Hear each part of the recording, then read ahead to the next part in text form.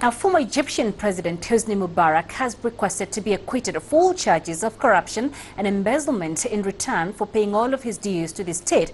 This request also has opened the issue of whether it is right for corrupted officials or businessmen to pay for their freedom. Yasser Hakim has more.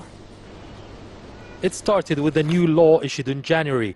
It allows for the acquittal of any person accused of corruption if he pays remunerations to the state. Already 35 cases are in negotiations with the government. All of them are either officials or business partners to former President Hosni Mubarak and his family. Most notable is businessman Hussein Salim, a close friend of Mubarak who escaped to Spain in 2011. He offered to hand over 80% of his wealth, over $500 million, so he can return home. This issue has caused mixed reactions in Egypt. Some believe the new law will encourage corruption. It's not logical to pay money to get out of jail. So they steal our money and simply pay more money and are set free?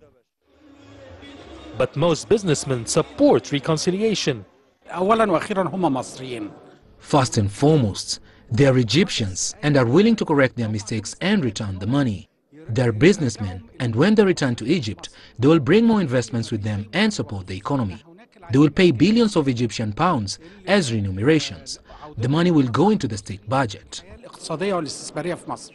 A committee for retrieving assets abroad has been re-established to get hold of the accounts and properties of the ones accused of corruption. The government says it will go along with reconciliation efforts whether it's popular or not. According to official figures, the new law will help retrieve over $15 billion in the next three years. Yasser Hakim for CCTV, Cairo.